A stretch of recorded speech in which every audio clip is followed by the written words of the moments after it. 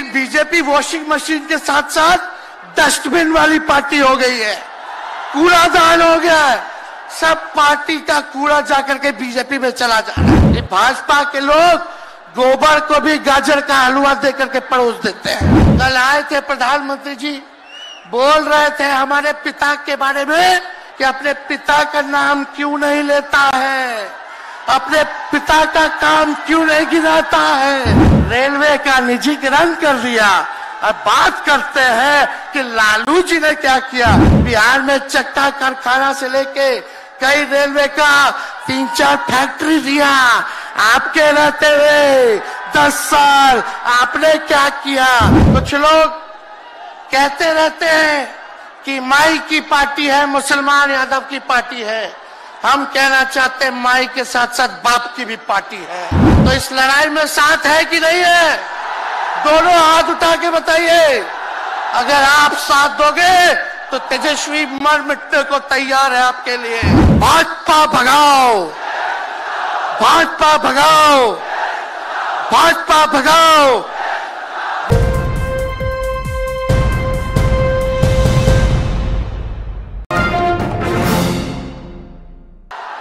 लेकिन पलट गए तो जहाँ भी रहे, सुखी रहे। आप लोग तो जानते हैं, हम आपसे पूछना चाहते हैं, सबसे पहली बार आपने किसके मुँह से सुना था, दस लाख नौकरी का? पटना में, बिहार में पोस्टर लगवा लगवाने हैं नीतीश कुमार जी। हमारे आदरणीय हैं, हमारे चाचा हैं, हम उनका आदर करते हैं, सम्मान करते हैं, बुज़ुर्ग हो गए हैं। लेकिन पोस्टर लगवा रहे कि रोज़गार मतलब नीतीश कुमार। ये वही नीतीश कुमार जी हैं, जब 2020 में हमने वादा किया था कि 10 लाख सरकारी नौकरी देंगे तो मुख्यमंत्री जी ने कहा था, कहाँ से आएगा पैसा? अपने बाप के पास से ला करके वेतन बांटेगा। असंभव है। सोचो जो सत्रह साल में नहीं हुआ, उसी मुख्यमंत्री से, उन्हीं के हाथों सत्रह महीनों में हमने इसी मैदान में लगभग पाँच लाख लोगों को सरकारी नौकरी हम लोगों ने दिलवाने का काम किया। महागठबंधन के साथियों को भी धन्यवाद देते कि विपरीत स्थिति में भी तो लोगों ने हमारा साथ दिया, लेफ़्ट की पार्टियाँ, कांग्रेस पार्टियों ने। लेकिन सत्रह महीने में हम लोगों ने कितना काम किया? जाति आधारित गणना कराई, आरक्षण की सीमा 75 परसेंट कराया, अति पिछड़े भाइयों का हम लोगों ने 24 परसेंट बढ़ाया, पिछड़े भाइयों का बढ़ाया, हम लोगों ने दलित, महादलित भाइयों का बढ़ाया, हमने आदिवासी भाइयों का बढ़ाया। जो काम आज़ादी के बाद से अब तक नहीं हुआ था, किसी सरकार ने नहीं किया था, उस काम को बिहार में हम लोगों ने करके दिखाया केवल सत्रह महीनों में। शिक्षा मित्र हो, विकास मित्र हो, टोला सेवक हो, तालमी मरकज के लोग हो, आंगनबाड़ी हो, उन सबके मानदेय को हम लोगों ने बढ़ाने का काम किया, दोगुना किया। ममता आशा का भी फ़ाइल हम कर चुके हैं। लेकिन मुख्यमंत्री जी, कई महीनों से रोक करके रखे कैबिनेट में फ़ाइल नहीं आने दे रहे। स्वास्थ्य विभाग से एक लाख तीस हज़ार का पब्लिक हेल्थ कैडर का फ़ाइल दबार करके रखे हैं। लेकिन कितना भी दबाएँगे, तेजस्वी खड़ा है आपकी लड़ाई में। आपको आपका अधिकार दिला करके रहेगा। तो इस लड़ाई में साथ है कि नहीं है? दोनों हाथ उठा के बताइए। अगर आप साथ दोगे तो तेजस्वी मर मिटने को तैयार है आपके लिए। कुछ लोग कहते रहते हैं कि माई की पार्टी है, मुसलमान यादव की पार्टी है। हम कहना चाहते हैं माई के साथ साथ बाप की भी पार्टी है। ये माई बाप की पार्टी है। बी से बहुजन ए से अगड़ा दूसरे ए से आधी आबादी महिला और पी से पुअर, यानी बाप, यानी माई बाप ए टू जेड की पार्टी है ये। और माई बाप हमारी जनता है, आप ही हमारी ताकत है, आप ही हमारी प्रेरणा है। आप सब लोगों का आशीर्वाद हमेशा आप लोगों का मिलता रहा है। उसी ताकत के बदौलत आगे की लड़ाई हम लोग लड़ रहे हैं। तो आप लोगों का साथ है ना? विश्वास दिलाते हैं आप लोग। और आर आरजेडी का मतलब मोदी जी कुछ भी कहते रहे, लेकिन आर आरजेडी का मतलब है आर्ट से राइट्स यानी अधिकार। जे से जॉब मतलब नौकरियाँ, और डी से डेवलपमेंट मतलब विकास। यानी अधिकार नौकरियाँ, विकास, राइट्स, जॉब, डेवलपमेंट। ये है आरजेडी का मतलब। बीजेपी के लोग जगह जगह तोड़ फोड़ करते रहते हैं। स्थिर सरकारों को तोड़ लिया जाता है। अरे, कुछ विधायक इधर से उधर कर दे। कोई फ़र्क नहीं पड़ने वाला है। लेकिन जनता को कहाँ से खरीदेंगे? जनता जवाब देगी। जवाब दीजिएगा ना। कुछ लोग डर के कारण, कुछ लोग लालच के कारण घुटने टेकते हैं मोदी जी के आगे, भाजपा के आगे। लेकिन मुझे गर्व है अपने पिता पर ये कितने बड़े से बड़ी भी विपदा आई, कितना भी डराया गया। कितना भी कोशिश किया झुकाने का, लेकिन हमारे पिता ने लड़ने का काम किया, कभी झुके नहीं, कभी डरे नहीं। और हम विश्वास दिलाते हैं, जब लालू जी नहीं डरे तो उनका बेटा डरेगा। लड़ेंगे आखिरी सांस तक। ये विचारधारा की लड़ाई है, और आप सब लोगों को साथ आना होगा। सभी समाजवादी भाइयों को साथ आना होगा। कभी राहुल जी को ईडी का समन। अभी देखिए, उत्तर प्रदेश में गठबंधन हुआ। हमारे बड़े भाई को तुरंत सीबीआई के लोग आ गए। अखिलेश जी को समन भेज दिया। हमारे तो पूरे परिवार को समन भेजा ही। लेकिन हम लोग डरने वाले लोग नहीं है। ये बीजेपी के आईटी सेल वाले लोग से हम लोग डरेंगे। हम लोग डरेंगे नहीं, ना झुकेंगे। जनता की लड़ाई में जनता के साथ खड़े रहेंगे। आप सब लोग वॉशिंग मशीन तो सुनते थे वॉशिंग मशीन कितना बड़ा से बड़ा भी भ्रष्टाचारी जो होगा, वो बीजेपी में जाता है तो उसका धुलाई हो जाता है, साफ़ हो जाता है। लेकिन बीजेपी वॉशिंग मशीन के साथ साथ डस्टबिन वाली पार्टी हो गई है। कूड़ादान हो गया है। सब पार्टी का कूड़ा जाकर के बीजेपी में चला जा रहा है। इसलिए ये वॉशिंग मशीन के साथ साथ डस्टबिन वाली पार्टी है। यहाँ आप जानते हैं, बीजेपी के लोगों ने दो दो उप मुख्यमंत्री बनाया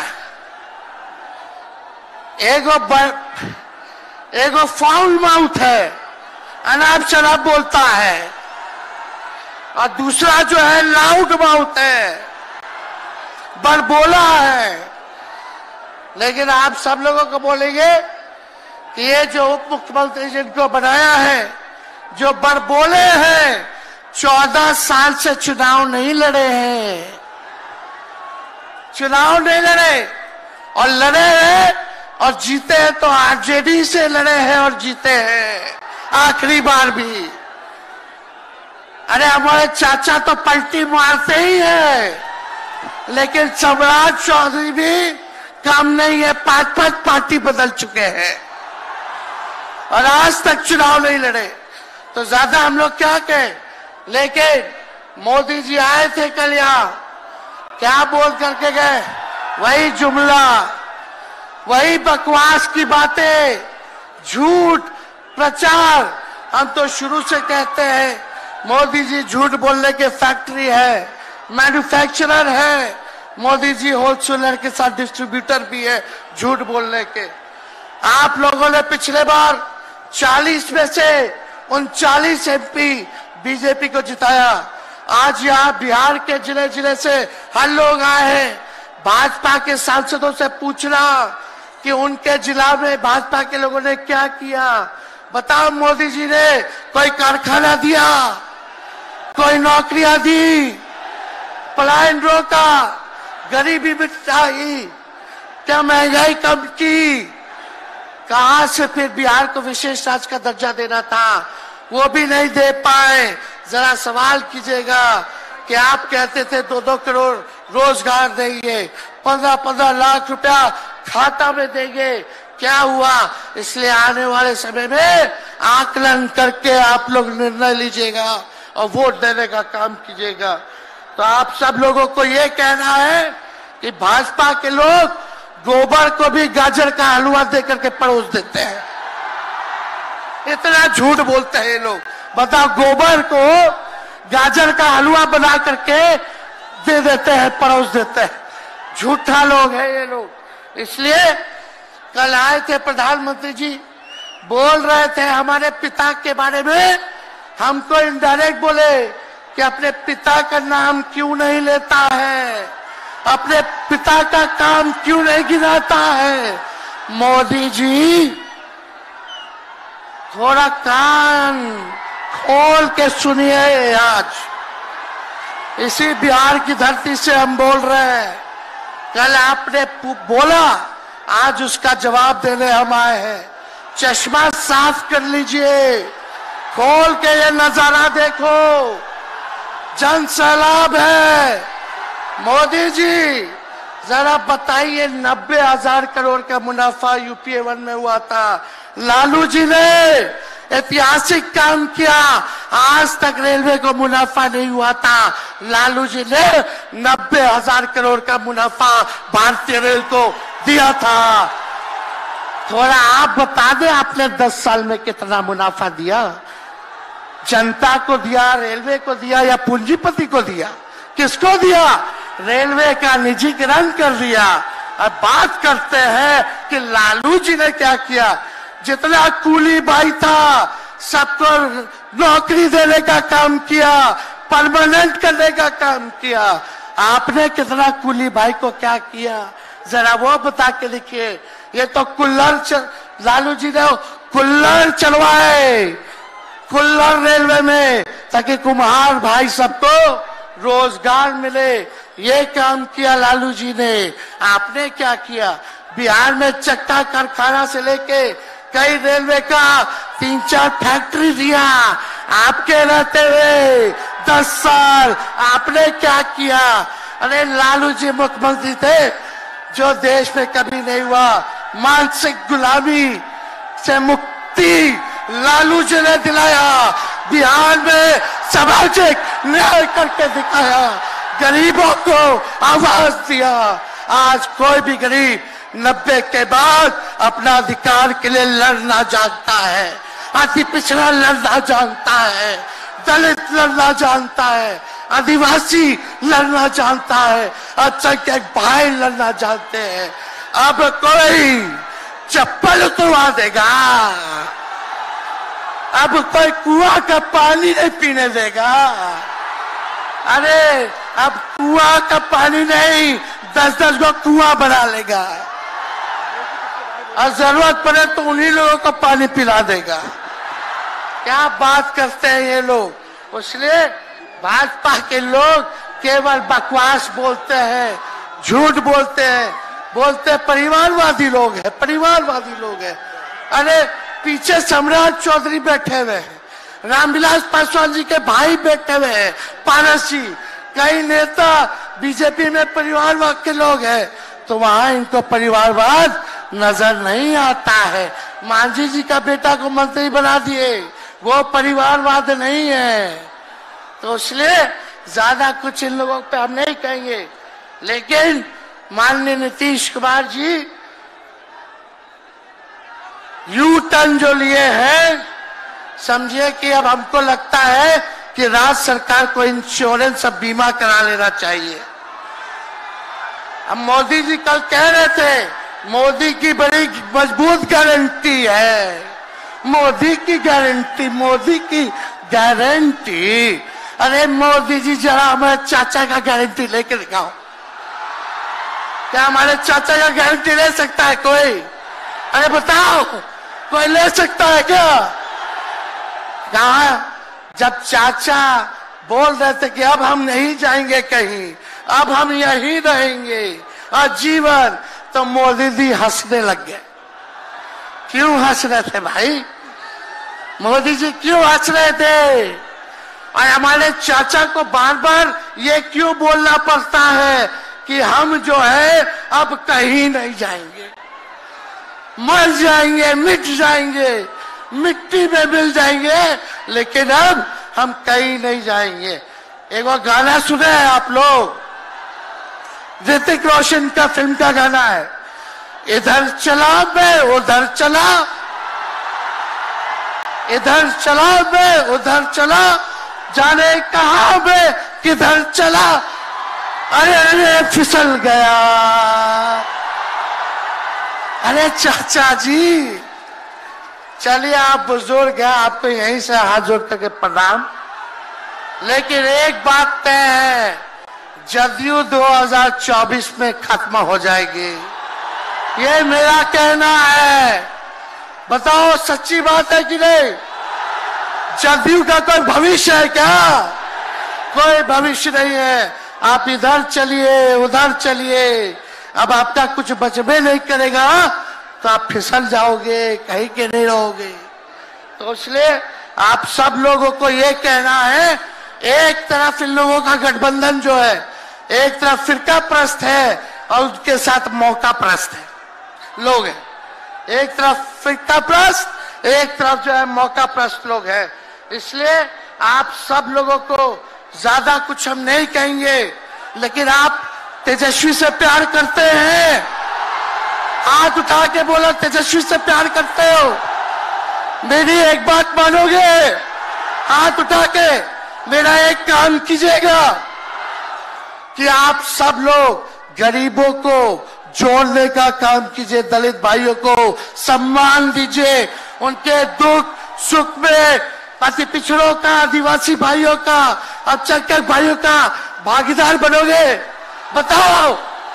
हाथ उठा के बताओ। बनोगे ना? तो हम ज़्यादा कुछ नहीं कहेंगे। अब आप लोगों को ही काम करना पड़ेगा। काम कीजिएगा ना। हम भी साथ रहेंगे। साथ साथ मिलकर काम करेंगे। तो ज़्यादा कुछ ना कहते हुए सभी हमारे वरिष्ठ नेता सब लोग यहाँ हैं।